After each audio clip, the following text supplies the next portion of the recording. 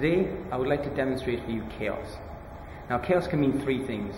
To the ancient Greeks, it was the initial conditions at the start of the universe, so darkness and space.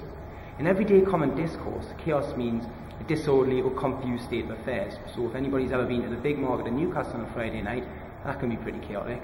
Or if anybody's ever tried driving a car on Britain's roads after a millimetre of snow, also pretty chaotic.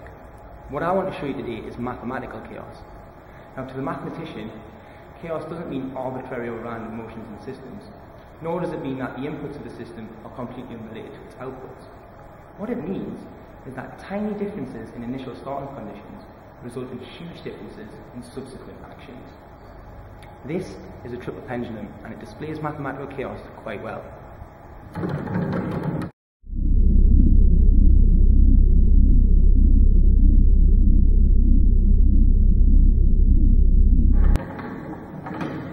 The spin of this pendulum is now unpredictable because tiny differences in how I started off result in huge differences in how it ultimately spins.